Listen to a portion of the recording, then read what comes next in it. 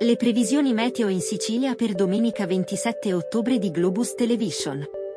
Domenica, anticiclone sempre più forte. Punto giornata contrassegnata da condizioni di bel tempo, cielo poco o a tratti parzialmente nuvoloso.